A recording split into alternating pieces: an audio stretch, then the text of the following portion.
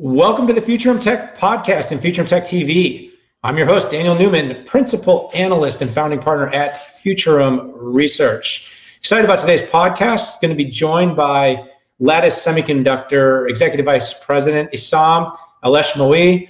And we're going to be talking a little bit about Lattice, its business, and its recent investor day because the company put out a super interesting uh, presentation. Really enjoyed participating in it, and in fact, wrote about it in a recent Market Watch piece where I named Lattice as one of the four semiconductor companies that people should be paying attention to if they are not already. But before I start telling all my stories and singing all my praise and providing all my analysis on the company, let me just have uh, Esam go ahead and say hello and introduce himself. Esam, welcome to the show. How are you doing today? Great to be here, Daniel. Really appreciate it. I watch your podcast, really interesting stuff. Finally, I get invited, so I'm really happy. And yeah, yeah. I put a board behind me because I see your board behind you all the time.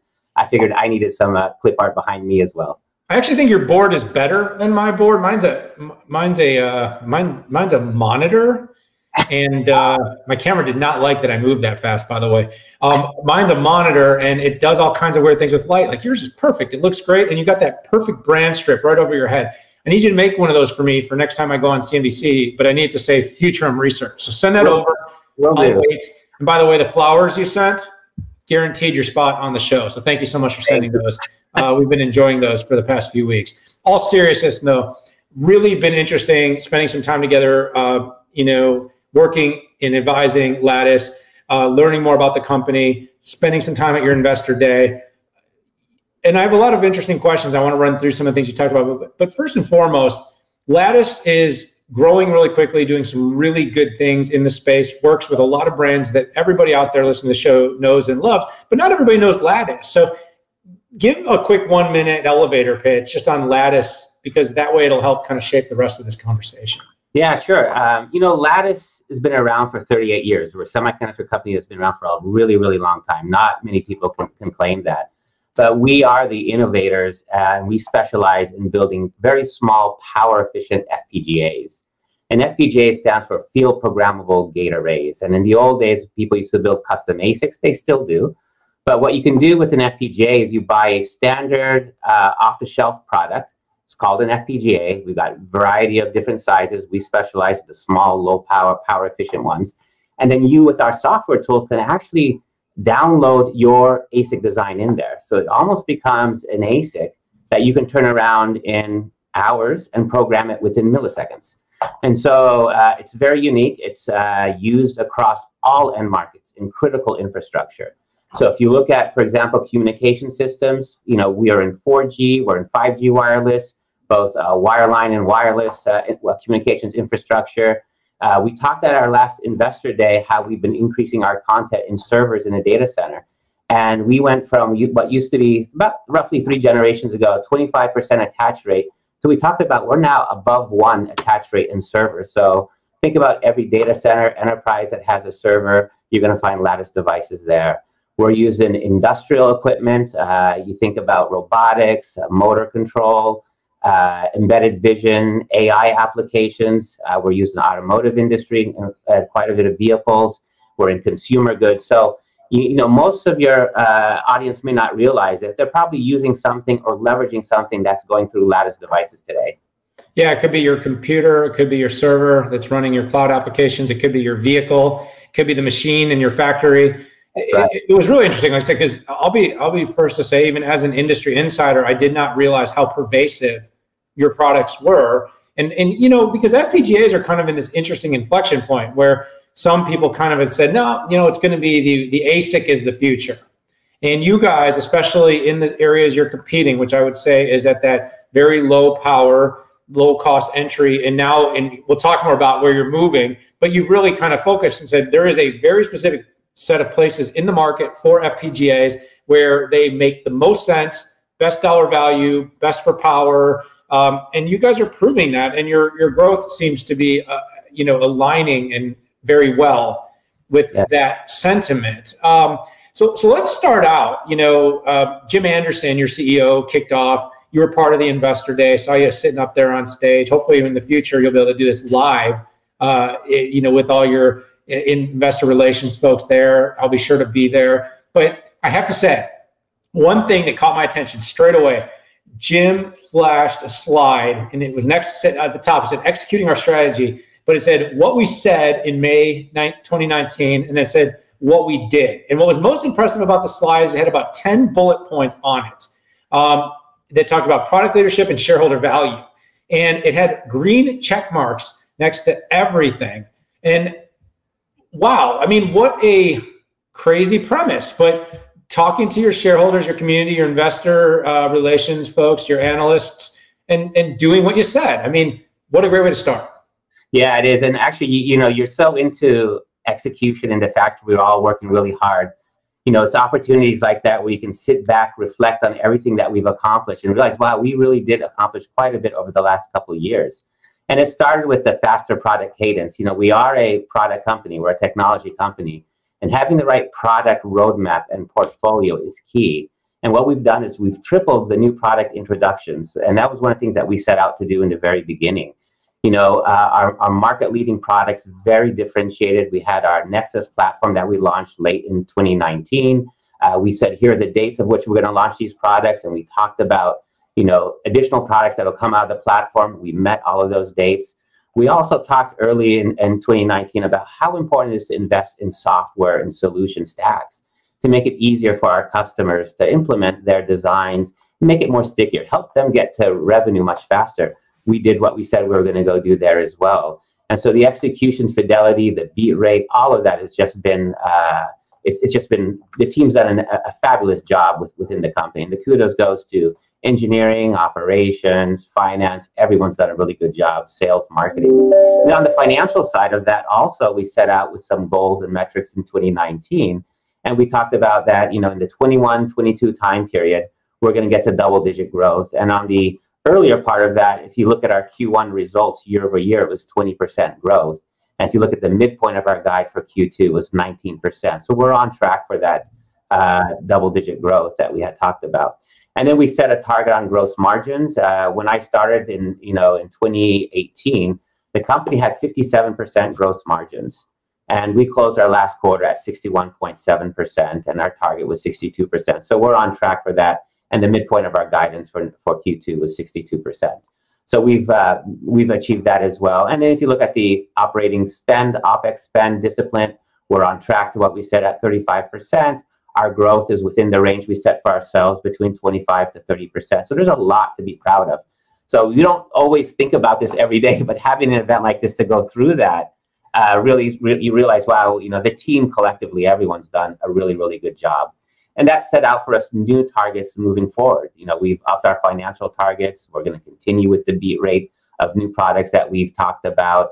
And we're going to be creating, you know, we talked about a product called Avant, actually, that's going to take us not just we're going to uh, deliver products and solutions for the small portion of the FPGA market, but actually we're going to be going into the mid range with our Avant platform, which is the next generation after uh, our Nexus platform, and that'll come in the second half of 22.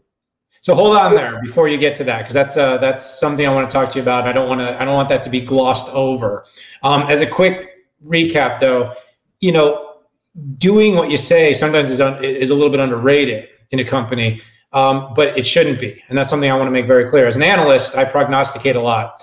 Uh, when I get it right, I'm extremely uh, ready and willing and going to make time to to tout my successful prognostications. Although a lot of times we're not as willing to go back and say, "Hey, I got that one wrong." And you know, in this case, it was kind of nice to say everything we said we would do. And by the way, if you really look across the market and in semiconductor space, some of the companies that have been punished the most harshly in the past few years, it has not been because of poor performance. It's been because of failure to do what they said they would do. And so that is one of the things investors um, are looking for. And I would certainly say your customers as well want that dependability of saying, if Lattice says they're going to build this product, in a year, we can design around this. We can count on this. That's important. And I, and I just hope people out there really put some weight to this. And then next year, we hold you equally as accountable to come back with another 10 green check boxes. Okay, I know I don't get a ton of time with you here. So I want to move on. You started teasing your new products. it wouldn't be a good financial uh, or an investor day if you didn't at least maybe make a few product drops or hints. You guys made several. Run me through some of the big announcements, new products, and, and where you see this in terms of Lattice's future. Yeah, so we did. We we announced uh, quite a few products. We gave a, a, roadmap of what's to come. If you look at our Nexus platform, that's really differentiated platform. We're bringing in products with four times lower power than competitive products you know, uh, really good reliability to soft error rates, which is a known phenomenon issue with, with FPGAs, but 100 times better performance there. And then we did a lot of stuff around AI and security and embedded vision. So we've announced, uh, we've introduced uh, three products from that thus far. And we've got the fourth product, which is our Certus Pro that we talked about at the Investor Day, having a, a launch on that on June 23rd. So people can go to our website, sign up, and be part of that uh, launch event that we're going to have on June 23rd uh, this month. But we also talked about additional Nexus uh, devices coming out from the platform. Then we talked also that we're creating our new platform, which is the Avant platform. And this is where we're increasing the LUT capacity. Think of that as the size or how much logic an FPGA can hold. We're increasing that by quite a bit. And we're adding a lot more differentiation to go after the mid range of the FPGA market. But it isn't just about the hardware. We also gave a roadmap around our solution stacks, and these are really important for our customers and the industry. Um, it allows our customers to uh, use our products easier by giving them the tools and the IPs and some of the software kernels that they would need that to embed in their systems themselves. And we've launched prior to this investor day, we had three, our sensAI focused around AI applications, our embedded visions around, you know, sensor aggregation and how do you do uh, computer vision or M vision, and also our Sentry solution stack around security. But at the day of the investor uh, day, we also announced our Automate solution stack, which is really around uh, robotics and, and motor control, uh, things that happen in, in, an industrial type application. And we also announced a roadmap where we're going to have an ORAN uh, solution stack coming out uh, first part of 2022, with another one coming out after that as well. So we're excited about what we're doing. The uh, the beat rate and the cadence of new products, both on the software and hardware side, isn't slowing down, and the uh, customer interaction and uh, intimacy has been really good. I mean, our customers helped us define these as well. This is, you know, yeah, I saw a lot of things. I mean, in the factory, I saw, you know, the incorporation of AI into the Automate platform, uh, predictive maintenance. I think it was like more than a dozen, maybe 14 times lower power consumption um, you know, with two time the capability in terms of uh, how many uh, controls, so doubling the amount of voters that can concurrently, uh, you know, deploy. So when you're hearing like Industry 4.0, you're these are the this is the meat and potatoes of being able to to provide that level of control. And then you know, obviously, you mentioned the Nexus side.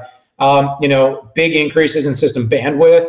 Um, increases or improvements, I'm sorry, not increases, improvements in power efficiency, and, and a broader range of support for different apps. And you guys map this out um, across. And, and, the other thing, by the way, uh, you guys came, you know, you, you kind of gave a sneak peek, and that was your 5G ORAN solution stack. Um, probably not something most people think about with FPGAs or Lattice, but you guys are getting and squarely inserting yourself in the conversation uh, to play in the 5G space. So, I mean, a whole lot. And then, of course, you mentioned Avant, which was maybe the biggest um, and maybe the reason I want to just take an extra second to point to that one is I think you doubled your TAM, right? The Avant basically took you from about a $3 billion market opportunity to six um, with the inclusion of this. And this basically was, as you mentioned earlier um, in the conversation, uh, you, you are essentially going up market, not to the high end of the FPGA stack. I think you guys have recognized where the biggest opportunity and fastest market adoption is, but right above where you've been hanging in this lowest cost, low uh, power devices, there's a little bit of an upstream opportunity that you said we're going to be there. Avant is going to be the solution for this, along with your software, and it's going to double the TAM. Yeah, that's the unique unique thing about us. You know, when you look at our, our traditional competitors, which is really the uh, Xilinx that builds FPGAs and Intel, they're really focused on the large FPGAs. These are the largest FPGAs for data center acceleration, communication, radio processing, as examples we're really in the area innovating in products that aren't getting the uh, the, the attention or the innovation from uh, the the competitors. And by the way, that six billion dollars uh, consists of two things. It consists of traditional FPGAs that we go after, But because we're adding more capabilities into our FPGAs today that didn't exist before, like AI, like security capabilities, or things that we're doing around computer vision or MVision, that opens up more SAM and more TAM for us as well. And what we're seeing, even with the Nexus, is we're displacing MCUs in a lot of applications as well. When you think about an AI application with an MCU or an FPGA, an FPGA is going to do it a lot more efficiently because it's parallel processing and at a lower power. And, and the same applies to motor controls. And you alluded to that. You know, we can control more motors, you know, simultaneously with more precision in an FPGA because of the parallelism that can occur in FPGA than an MCU. So we're actually not just competing and taking share and growing within what I call the traditional FPGA market, but we're actually identifying new applications for FPGAs that didn't exist before. Yeah, I mean, it's a true example of where automation uh, through technology and software, in this case, an FPGA, can displace legacy, uh, you know, route to solution, yep. which would typically be with an MCU. So I want to I want to take this home and talk a little bit about the future, the guidance. Um, you know, we are not a purely a financial, but I really like to live at that sort of intersection of financials, technology. I think the it's the ultimate truth of any company lives in the reporting and the numbers. Uh, your products are make for great architecture, but when you can sit in front of us and say this, like that's what I love to say, do when you say this is what we said, this is what we did, um, because you know I wouldn't say marketing can lie, but let's just say marketing leaves a lot of room for interpretation. Numbers do not. Um, yeah. So, you guys, I, I, had some key takeaways. You're targeting significant growth. I believe you said you're going to target double digit. Um, you mentioned 62%, but you're actually targeting to push that up to 65%. Um, you're trying to keep your OPEX stat, uh, you know, stable, um, and you're really pushing a profit target um, to go above 30%. So, you know, this was, you know, primarily comments that your CFO, uh, Sherri Luther, came up and gave. But, you know, you you increased your guidance. You set a whole list of new say-dos going forward and things that we are going to hold you accountable uh, for. Um, talk about that. Talk about what's ahead. Yeah, and it's probably worth note that we did all the we met our financial targets, you know, uh, what we said, and, and this was in a tough year of COVID and uh, trade wars as well. And we set, you know, what we felt were good targets for us to meet as well over the next three to four years. As you said, you know, continue sustainable double digit growth, starting off on the on the low end of the double digit, and then with the Avant clearly accelerating that double digit even more. Uh, and the margins, as you said, we were upping our target from 62 to 65 percent, and the operating income 30 plus. You know, what, what, what drives that are, are, two, two key things. Number one is having the right products and, and, and roadmap of products coming out uh, that can address the applications of our customers, but also the fact that we're in a lot of growth drivers across different end markets. So when you think about 5G, you know, we're well proliferated across the top OEMs in 5G. As 5G continues to deploy, and we're still in the early stages of 5G, we benefit from that you know, we, we showed uh, examples of how our attach rate is increasing from one generation to another in the server market. And the dollar per server is also increasing from generation to generation. That drives growth. We talked about the fact that we are now doing something that other FPGAs couldn't do, which is we're now in the client compute platforms. And we had two platforms that we talked about that launched in 2020. We're going to see the full benefit of that in 2021. But hey, those aren't the only two. We're engaged with you know, the top OEMs on more client compute platforms that will drive more growth for us as well. Our industrial and automotive has been a good growth segment for us, even in a tough year last year. That grew 12% year over year. In fact, if you take our two largest growth segments that account for 85% of our revenue, the comms and compute and the industrial and automotive, those two that account for 85% of revenue today grew uh, double digits over the last three years combined. And so we've got some really good growth drivers for us with the products that we're bringing out. Uh, we're really excited about what the futures hold, and hence the, the reason why we updated our target models. Yeah, absolutely. I mean, if you put it all together, the summation I took was, you know, the past was strong, and that was reflected in what you said. You met the results, and you were very specific, uh, very prescriptive about how that happened. I was more op- uh, optimistic, though, about the future you know, anytime a company doubles its TAM and doesn't only do that arbitrarily, but through very specifically uh, entering a new market, which, by the way, fairly greenfield in nature, not overly crowded space that you're very well prepared to enter and and and become a meaningful player. Because these aren't brand this isn't a lot of going to brand new companies. This is taking your offers. This is net revenue expansion within yeah. your current portfolio. I mean you're entering a few new spaces but more than qualified capable and and and you are well known in those areas. So while lattice may not have the same branding as some of the big home you know pc maker chips not yet not yet. in the in the spaces you serve you are becoming more and more a household name and that's because you've executed extremely well. And then of course like I said, the ambitious guidance that was underpinned by a path to results all had me feeling encouraged. Um, Sam, we only have a minute or so to wrap up here. Any other things you want the uh, the community to know before I set you free? You know, I really appreciate this time. We're all in the company, everyone just as excited as, as what how you articulate as well. We've got a lot of good stuff ahead of us that we're all excited about and being part of that and how we contribute to the industry as a whole and to society and what we're doing. Uh, it's just exciting for everyone. And hey, and I do appreciate finally being on this podcast. I've been waiting for this day for quite a while. I really do appreciate it. Yeah, no, uh, super excited to have you here. Um, you know, thank you so much for joining. It was a great presentation. I'm glad we were able to share a little more depth here with our community. Um, this is why I included the uh, Lattice Semiconductor uh, as the Lattice Lattice Semiconductor as one of these semiconductor companies I really feel that everybody needs to be paying a little bit more attention to, or a lot more attention to. But definitely check out the show notes and the transcription of this.